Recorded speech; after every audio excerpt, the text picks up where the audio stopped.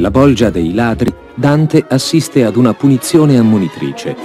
Il brutale pistoiese Vanni Fucci osa rivolgere un gesto osceno a Dio stesso e viene subito punito. Le serpi lo avvinghiano crudelmente e mentre Dante inveisce contro Pistoia, il dannato scompare nella bolgia.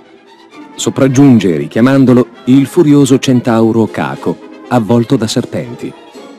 Sulla sua schiena porta un drago con le ali aperte che lancia fiamme. Mentre anche il centauro passa oltre, i due poeti vengono richiamati da tre ladri fiorentini.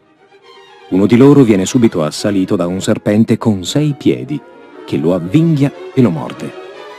Dante descrive allora un fenomeno terribile e meraviglioso.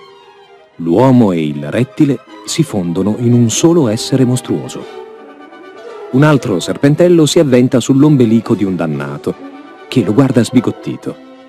Le bocche dei due esseri cominciano a fumare e avviene una duplice metamorfosi che trasforma l'uomo in serpente e viceversa. Dante si sofferma lungamente a descrivere con precisi particolari la metamorfosi, facendo esplicitamente a gara con i modelli classici di Ovidio e Lucano. Mentre il novello serpente si allontana strisciando, il dannato che ha ripreso forma umana prima sputa, poi rivela il nome dell'altro, Buoso Donati. Il terzo dannato, che assiste alla scena terrorizzato, è Puccio Sciancato, un nobile bandito da Firenze.